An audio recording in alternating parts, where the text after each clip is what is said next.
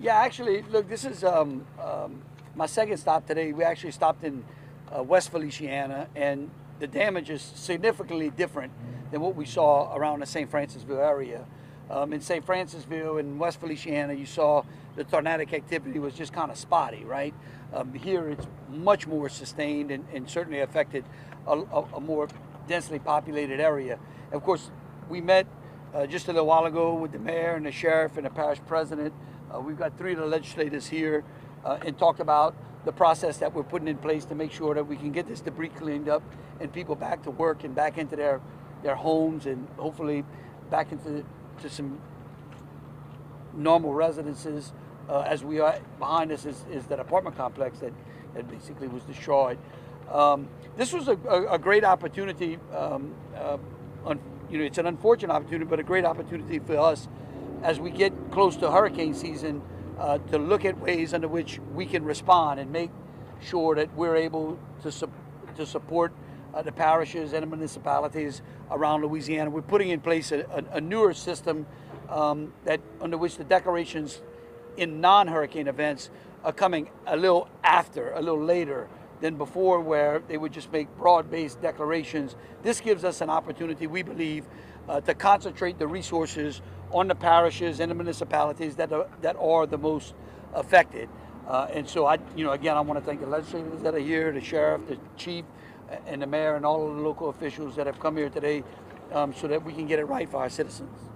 What type of state assets can you draw down now to help Mayor Cromer and his, his city? Yeah, look, uh, I mean the same the same uh, assets that we're going to use to uh, to help uh, the unincorporated areas of St. Tammany and those in West Feliciana and St. Landry will probably be on the declaration. Uh, we're going to see those declarations when I get back uh, to Baton Rouge this afternoon. And what we're going to do is utilize the, the current statute that allows for a 75-25 um, split, 75% being paid for by the state and 25% uh, by the parishes. And what, and, and of course, this is mainly going to be about debris pickup, um, is what we're concentrating on because those are the things that we saw um, needed the most. We want to make sure that we can clean this debris out, get all this vegetation uh, out of the roadways and out of people's yards, so that we can get back to work. Governor Landry, can you talk about if there's going to be any type of federal aid, and if not, why not? Yeah, look, all of the federal aid is designed based upon the quantity of debris and damage uh, that an area sustains. Uh, I'd like, look, if we don't meet the, fe- the federal uh, threshold, that's a good thing for us, right? That means that less people have been displaced. That means l- less destruction that has happened uh, in the state. And so we'll just wait and see.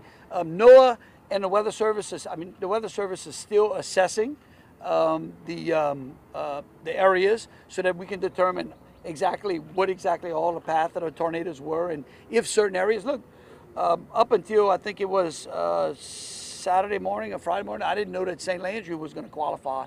But after the, after the National Weather Service looked at that area, it showed that there was some tornadoes that had touched down there as well. You got to look from the sky, and now you're here on the ground. Just talk about what you've seen here in St. Tammany Parish. Yeah, I mean, look, I, I can tell you, there's a if, if you uh, if you're in the roofing business in St. Tammany Parish, I think you're going to have plenty of business. Unfortunately, I think you, we saw a lot of blue tarps. We saw a lot of um, um, homes without, you know, that lost a number of shingles. I mean, of course, when you got to this particular area, you see the destruction um, that was caused by by the by the F what two that passed through here. And so I- think that from the air you, you can see the path, but when you get on the ground, you can really feel and really see the damage. Uh, I think it's when you're on the ground, you get a, a much better grasp of, of, of, of the severity of the damage. And with that being said, Governor, just anything that you want the people and the business owners here to know from hear from you. Yeah, look, I, I can tell you, um, you've got a great bunch of elected officials. Uh, you've got a great emergency response group here. I, I was extremely impressed. I can tell you that they're going to work hard to make sure that they get the, that the people of this area get the services they need, and the state is going to do everything it can within the law uh, to provide that for them. And this is one of your first uh, natural disasters as governor. What, what are some of your thoughts? I mean, look, I mean, I, I've been living in Louisiana all my life. I mean, it seems like we got a natural disaster almost every quarter uh, in this state. I, I I remember one of the first things that I experienced was Hurricane Andrew back in 1991 when I worked as a sheriff's deputy and went two weeks without power and water. Um, you know, and, and, and so look, again, I think that this is an opportunity, um, you know, for us to really work on ways under which, again, this could have been a lot worse, and I'm glad it hasn't. We luckily lost no one lost any life, and thank the Lord for that. Uh, but I think that what I've seen here in St. Tammany Parish is a great example of when local elected officials and faith-based organizations come together um, during times of crisis like this. I mean, things can go well, uh, and we're going to make sure that we get it cleaned up and people go back to work. Mayor Cromer, what did you brief the governor on today? What's the status of your recovery and what are you talking to the governor about? We, we just informed me that uh, everybody that can receive power in our area uh, has has got they've got power, they've got electric. Our water in the city and our sewer systems are all up and running, powered up. Uh, there's still a few in the parish, I think, that are co- compromised, but uh, we just emphasize that, that the best thing about this, there's no no fatalities. Uh, we've had a we had a, an excellent emergency ops plan that we put together, put in place immediately uh, before the, the, the rains had stopped. We all we had all the first responders out and the public works crews clearing streets. Uh, the, the the plan worked very very well as it's intended to. We've, we've experienced this stuff before, so we were prepared for it, and it made it very easy for us to respond immediately. Uh, the, good- the gratifying thing about the governor being here is that he's told us, don't worry about letting the paperwork get in the way. Go take care of your community and get your people back together and put them back together. We will be there to stand with you and make sure that we're all made whole. And I, I thank you for that. What have you asked for, Mayor? So far, we, we're, we're still assessing the damages to our commercial properties. Uh, we're trying to uh, identify where the folks that are going to be without housing are. I know there was 60 plus people in this apartment complex behind us that are, uh, dislocated right now.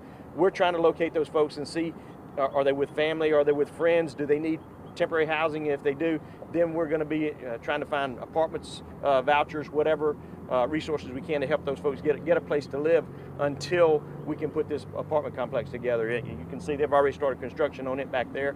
Uh, there's permits been pulled. They're moving out with it.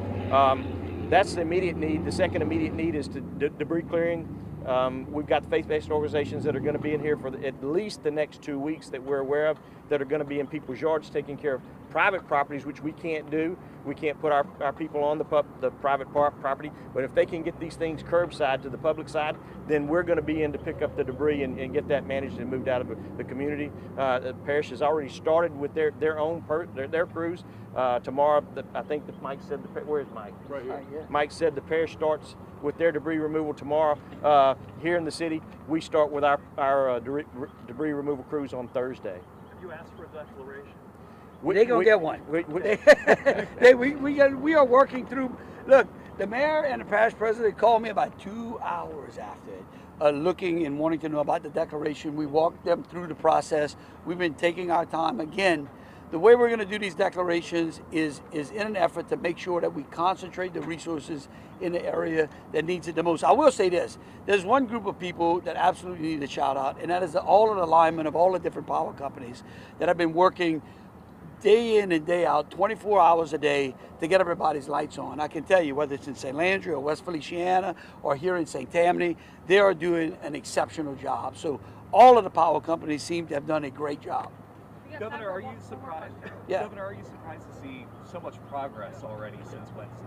No, it's Louisiana. I mean, look, I, I, I am, but it's, it, it's a pleasant surprise. I mean, here in Louisiana, we do a great job of taking care of our neighbors. I think, just as Greg said earlier, um, the faith-based organizations that are here as well that are going to come out and be and give their service to be able to help people get their trash and debris to the road so that the government services can pick it up. I, it, it it's not. It's heartwarming, and it's part of why I think Louisiana is poised to have to be a great place where we can get more people to come and live in Louisiana. So, President Cooper, did you have something that Yeah. you wanted to say? I'll be happy to.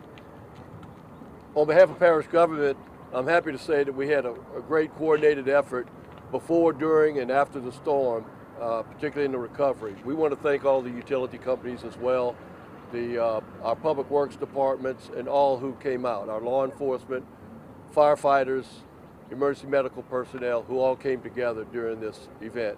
Any part of St. Tammany that has destruction is, uh, is too much. Uh, and we're, we're, we're all here to help, and we have a great coordinated effort from the state, parish, and local officials. Governor, do you have time for two quick follow-up off-topic questions? One being the mass shooting that took place in New Orleans and the public records law that's working its way through. Yeah, look, right now we're concentrating on St. Tammany Parish and the people that have been affected. Tell you what we'll do. You get with Kate and we'll make sure that we answer those questions for y'all. Um, but really and truly, we want to make sure that the focus stays on these elected officials, the great work that they're doing, and the speed at which the recovery here is going to take place. But do appreciate it. Thank y'all.